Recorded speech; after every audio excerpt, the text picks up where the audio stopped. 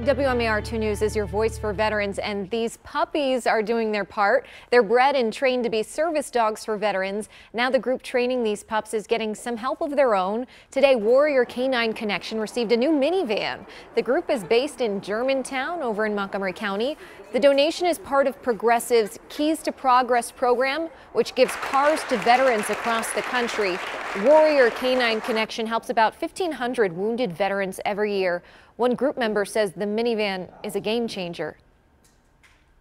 We have a huge need to be able to transport those dogs to go work with wounded veterans. And, uh, you know, uh, in recent years, it's been that we've been using our personal vehicles. So we are super excited that Progressive is helping us out with being able to get our, our tools of the trade here to those wounded veterans. And she adds that every little donation can help in their mission as each dog they place costs about $30,000 to train and keep healthy. And we'll have more information on the group at WMAR2news.com.